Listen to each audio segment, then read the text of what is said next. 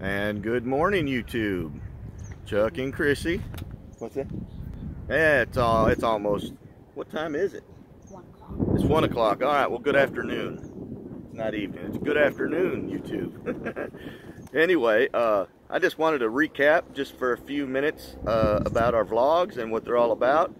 For those of you that are uh, new to our videos, um, we talk a lot about downsizing process, uh, going from uh, a house to an RV. That's what we are in the process of doing.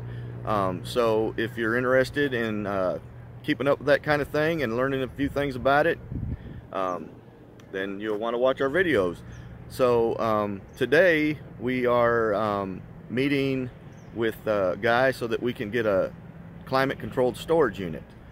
Um, Krissie, I know she's uh, she's tired. She just got off work. Uh, she's been there what 16 hours. 16 hours. So yeah, she's ready to get this day over with. And we thought we'd come down here by the uh, Pickwick Dam. That's a pretty background. And then uh, yeah, we'll get over there and we'll uh, get over there and get this um, storage unit. And we'll get that took care of. So we'll see you over there. And welcome back. We are here at Lockbox Storage. Uh, it is a climate controlled storage facility. Uh, how you like that mule deer behind me? It's a monster. So anyway, Krissie's over here taking care of the uh, remainder of the paperwork. Uh, let me take you over here and show you our storage unit.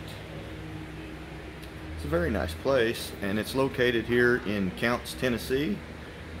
Actually, it's uh, very convenient because it's located directly across the street from where I work. You can't really see it, but it's right there across the street.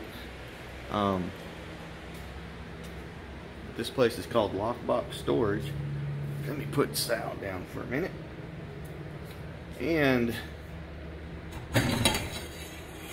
just slide this out here.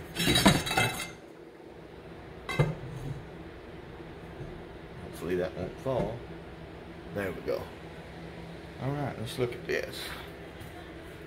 Uh, here we go. Come here, Sal. Oh, he's gonna go see what mommy's up to. Yeah, so here it is, and I believe this is a um, five by eight,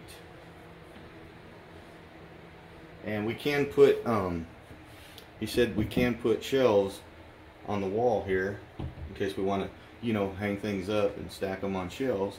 He said that is acceptable, but like I said, this is uh, climate controlled, and it stays around. He said around 80 degrees in the summer, and 60 and maybe a little warmer during the winter. And so the advantages of having a climate controlled unit like this is it uh, protects your valuables from mildew and, and stuff like that and rotting and uh, it's just better to have it inside with a climate controlled situation.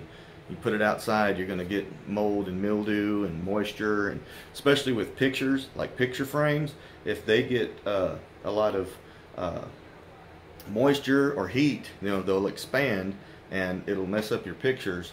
Christy knows more about that, but she's not here right now. She's taking care of paperwork.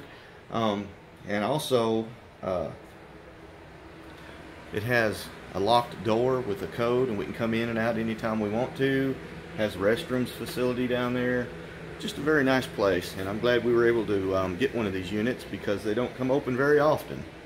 They sure don't. And uh, we're going to be putting some stuff in here and we'll probably be uh, bringing you with us during that process. And uh, I wish y'all could uh, help us out with it physically because moving is not any kind of fun. And uh, yeah, I'm, I'm excited to get started. Anyway, y'all, this is just a short video just to share this uh, storage unit process with you. Um, that's all part of downsizing, so is getting a storage unit.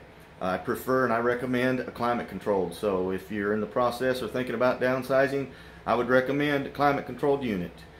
Until the next video, peace.